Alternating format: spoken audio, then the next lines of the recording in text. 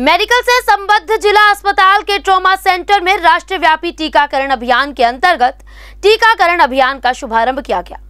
बता दें कि इस दौरान पहला टीका डॉक्टर कीर्ति शर्मा को लगाया गया। उन्होंने बताया कि ज़िले का पहला टीका लगवाकर मैं अपने आप को गौरवान्वित महसूस कर रही हूँ। टीका लगने के बाद अभी मैं प्रकाशन रूम में हूँ। आधा घंटा बीत जाने के बाद भी मुझे कोई ऐसे विपरीत प्रभाव नहीं दिखाई दे रहे हैं, जैसी कि भ्रांतियाँ फैलाई जा रही हैं। उन्होंने कहा कि ऐसी भ्रांतियों पर ध्यान ना दें। वहीं दूसरा टीका डीन जीबी राम टेके को लगाया गया। इसके बाद अस्पताल के अन्य डॉक्टर और स्टाफ को टीका लगाया गया। इस मौके पर कलेक्टर श्री सुमन ने कहा कि इस महामारी को रोकने के लिए ज़िले में तीन टीकाकरण केंद्र बनाए गए हैं। एक केंद्र में 100 टीके लगाने का लक्ष्य रखा गया है। ज़िले का पहला टीका स्टाफ नर्स को लगाया गया। उसके बाद अन्य डॉक्टर और स्टाफ को लगाया गया। टीके को लेकर जो भ्रांतियाँ फैली हैं, उस पर ध्यान ना दें। टीका बहुत सुरक्षित और बीमारी को दूर करने में कारगर है। उन्होंने ज़िले की जनता से अपील की है कि इस टीकों को लगवाएँ। इस अवसर पर जिला कलेक्टर सौरभ कुमार, सुमन, एसपी विवेक अग्रवाल, राम टेके, प्रभारी, CMHO doctor Sushil Rathi, SDM Atul Singh, तहसीलदार Mahesh Agarwal, civil surgeon Shrimati doctor P Gogia सहित अन्य अधिकारी व कर्मचारी उपस्थित थे। चालू हो गया है, क्या तैयारियाँ हैं अब जिस दिन का हम सब लोगों का इंतज़ार था कि कोरोना के लिए दवाई चालू हो जाए तो आज से 16 तारीख से कोरोना वैक्सीनेशन का कार्यक्रम चालू हुआ है।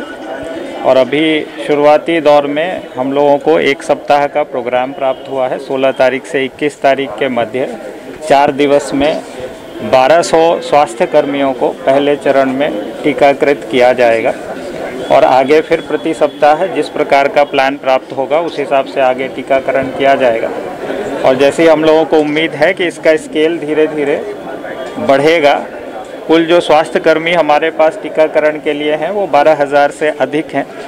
वर्तमान में हम लोगों को पंद्रह हज़ार डोज प्राप्त हुआ है। जिसके माध्यम से अभी हम लोग साढ़े सात हज़ार लोगों को टीकाकृत कर पाएँगे और लगातार वैक्सीन के डोजेस की सप्लाई हम लोगों को प्राप्त होती रहेगी।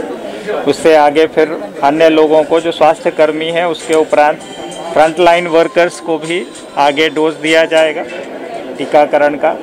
और उसके पश्चात 50 वर्ष से अधिक उम्र के लोगों को और ऐसे लोग जो 50 वर्ष से कम हैं, लेकिन कोमॉर्बिडिटी से ग्रसित हैं, यानी कोई गंभीर बीमारी है ऐसे लोगों को चरणबद्ध तरीके से टीकाकृत किया जाएगा। सर आज आज कितने लोगों को सर व्यवस्थाएँ की गई हैं? प्रतिदिन 100 लोगों को एक साइट पे टीकाकरण किया जाएगा। वर्तमान में ज़िले में तीन साइट कार्यरत हैं। एक साइट पे हम लोग खड़े हैं जो कि ज़िला अस्पताल के ट्रॉमा सेंटर वाली साइट है। दूसरी साइट मेडिकल कॉलेज में है सिम्स में। तीसरी साइट सीएचसी हर्रई में है। तो प्रतिदिन 300 के मान से चार दिवस में 1200 लोग टीकाकृत हैं लोगों के मन में टीकाकरण को लेकर कैसा उत्साह है? कोई हेजिटेशन वगैरह तो नहीं देखने में मेरे हिसाब से कहीं कोई भ्रांति नहीं है कोई इस प्रकार का फ़ोन कॉल हम लोगों ने रिसीव नहीं किया किसी स्वास्थ्यकर्मी के मन में कोई भ्रांति नहीं है।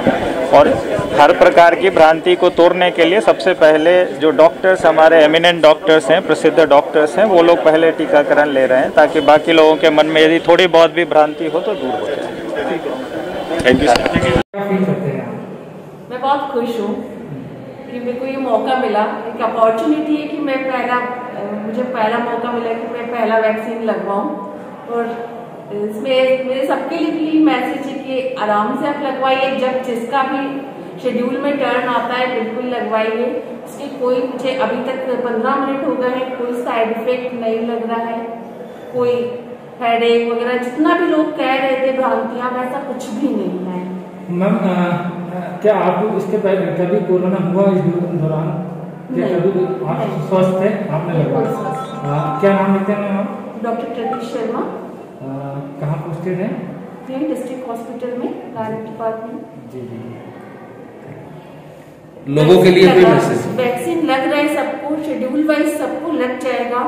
पूरा सिस्टम चल रहा है लेकिन सबका जब भी टर्न आएगा वैक्सीन ज़रूर लगवाइए लेकिन बाकी रूल्स को भी फॉलो करिए आप। सोशल सोशल डिस्टेंसिंग रखिए मास्क लगाइए हैंड सैनिटाइज वगैरह करिए और जो एक अच्छी आदत सीखी है सोसाइटी ने उसको मत आप छोड़िए।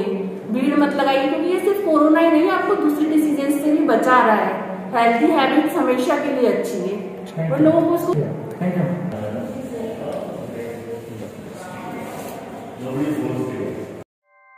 ऐसे ही लेटेस्ट खबरें पाने के लिए बेल आइकन को क्लिक कर हमारे चैनल को लाइक शेयर एंड सब्सक्राइब करें।